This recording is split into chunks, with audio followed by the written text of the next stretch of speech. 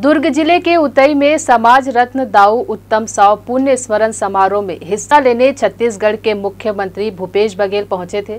इस दौरान उन्होंने कई विकास कार्यों की सौगातें भी दी। छत्तीसगढ़ के दुर्ग जिला अंतर्गत आने वाले उतई में समाज रत्न दाऊ उत्तम साव पूर्ण स्मरण समारोह में छत्तीसगढ़ के मुख्यमंत्री भूपेश बघेल शामिल हुए। इस दौरान उनका भव्य स्वागत भी किया गया। इस कार्यक्रम के दौरान मुख्यमंत्री ने क्षेत्र के विकास के लिए बड़ी घोषणाएँ की।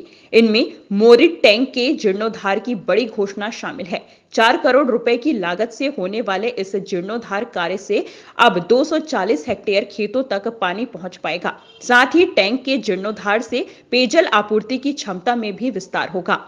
स्वास्थ्य के क्षेत्र में बेहतरीन इंफ्रास्ट्रक्चर देने, उतई के अस्पताल में क्षमता विस्तार किया जाएगा। इनमें 10 ऑक्सीजन बेड होंगे। उतई नगर में दो करोड़ रुपए की लागत से पालिका बाज़ार बनेगा। इसके बनने से नागरिकों एवं व्यवसायियों को सुविधा हो सकेगी। नगर के पुराने शीतला तालाब का जीर्णोद्धार एवं सौंदर्यीकरण भी होगा। इसके लिए भी पचहत्तर लाख रुपए देने की घोषणा मुख्यमंत्री ने की।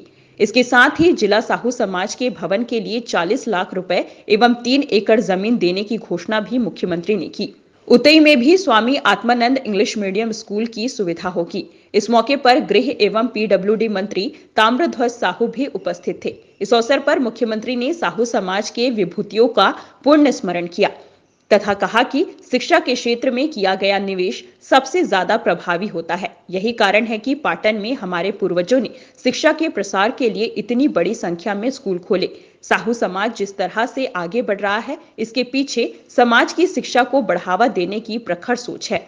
यह बात मुख्यमंत्री भूपेश बघेल ने उतई में आयोजित समाज रत्न दाऊ उत्तम साव पूर्ण स्मरण समारोह में कही। उन्होंने कहा कि शिक्षा और स्वास्थ्य किसी क्षेत्र को बढ़ावा देने के लिए दो सबसे बड़ी प्राथमिकता होती है। साहू समाज ने शिक्षा के क्षेत्र में अहम कार्य किया है। हमारी सरकार की सोच है कि गुणवत्तापूर्ण शिक्षा का लाभ सबको मिल सके। इसके लिए हमने Swami Atmanand English medium school और स्वामी आत्मानंद हिंदी स्कूल के माध्यम से शिक्षा की बेहतरीन सुविधा उपलब्ध कराने का निर्णय लिया। साथ ही कहा कि हमने निर्णय लिया है कि जो भी अंग्रेज़ी के रास्ते आगे बढ़ना चाहे, उसे किसी भी तरह की बाधा ना पहुँचे। नज़दीक में ही गुणवत्तापूर्ण स्कूल मिल जाए। इसके लिए पूरे प्रदेश भर में 177 Swami Atmanand English medium school आरंभ किए गए हैं।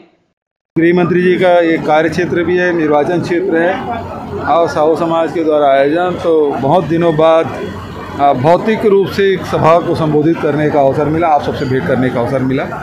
और जहाँ उत्तम साहू जी के योगदान को याद किया गया, चाहे समाज सुधार के दिशा में हो, चाहे समाज के एकता की दिशा में हो, चाहे समाज के शिक्षा और स्वास्थ्य को लेकर, कुरूतियों के लेकर उन्होंने जो योगदान दिया, निश्चित रूप से अविस्मरणीय है और उसको जितनी उसकी प्रशंसा की जाए, कम है। बहुत बड़ा योगदान उत्तम साहू जी का रहा है।